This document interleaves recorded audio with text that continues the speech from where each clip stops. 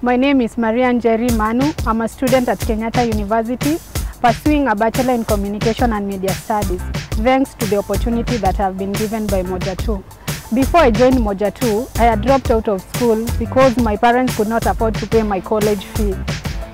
I felt as if my dreams were coming to an end, but there is something in me that kept hoping and believing that one day I will be able to go back to school and achieve my goals. Now I'm in second year and I believe that through this opportunity that Moja Tu has provided me, I will be able to change the life of my family and my society. I take this opportunity to thank Kadi and Michael for the wonderful work that you are doing of changing our lives. I would also like to thank my sponsor Brenda. Thank you for your love, support and generosity. And I also wanted to thank Moja Tu at whole for, the, for changing people's life and for empowering us. Thank you Moja Tu.